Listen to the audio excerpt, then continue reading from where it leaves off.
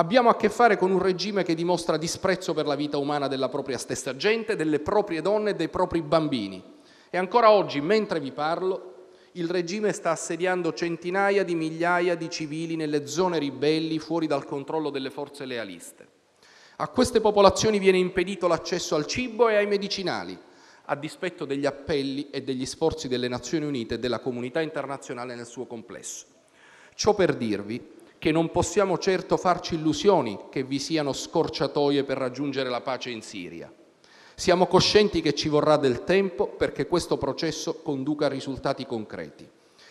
Il negoziato di Ginevra va alimentato e sostenuto con forza ed efficacia perché rappresenta l'unico strumento idoneo a far dialogare le diverse parti siriane.